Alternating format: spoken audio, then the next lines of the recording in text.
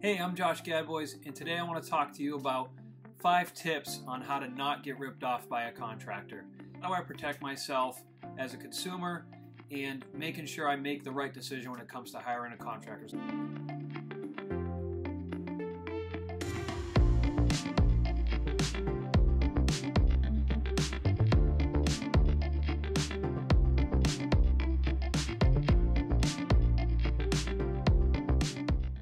Okay, first step to help you not get ripped off, ask for some actual references of places they've worked. Uh, look around, see if they have some names they can give you some numbers. Um, anybody that we've asked as a reference, there's no, the whole my clients like their privacy, that doesn't exist, right? We can pretty much look up anybody anywhere on the internet if we really want to dig.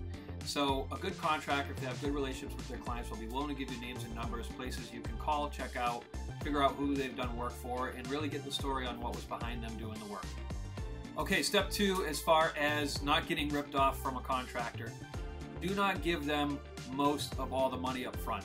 Uh, we've actually had clients ask us, do I pay you mostly in full on the front end? Absolutely not. Uh, in Massachusetts, for example, we only can get as much as a third down, uh, which is typically what we do get. But when we do that with our clients, we, we typically start ordering materials, filing permits, setting the job up, helping them pick their things out and purchasing those things. So whoever you work with, make sure that it's on the scope that they're going to be doing those things for you. And be very, very careful if there's a lot more than a third or a half up front. If they're looking for way more money than that, that's kind of a red flag. Okay, step three, make sure that the contractor doing your renovations is filing a permit. We hear all the time the whole tale of, oh, it's not structural, so I don't need a permit. If you've ever heard a contractor say that to you, throw up the red flag right away. There is a reason they're saying that. Uh, in Massachusetts, for example, you need an HIC and a CSL, and uh, the town will not accept any permit application without those two items and also proper insurances. Step four, avoid a lack of clarity.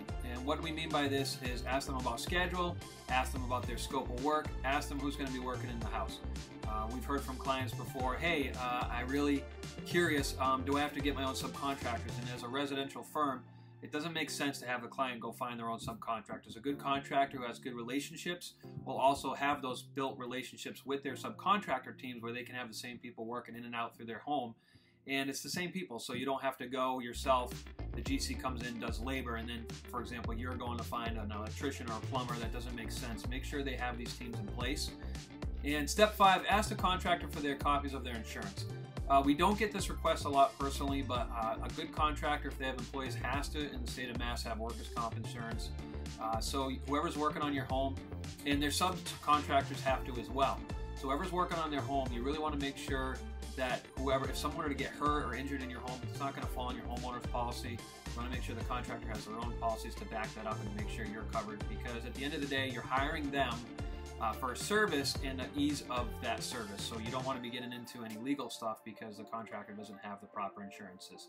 Okay, that just about wraps up our video. I'm Josh Gadbois, and I'm here giving you five tips to not get screwed from your contractor. And if you have any questions or if you get that red flag or gut feeling that doesn't feel right, just email me, josh at renovistaconstruction.com. I am in no way a legal expert, but happy to answer those questions to see if something doesn't feel quite right or make sense. Uh, if you like our content, please hit the subscribe button below, and we look forward to seeing you again. I'm Josh Gadbois signing out.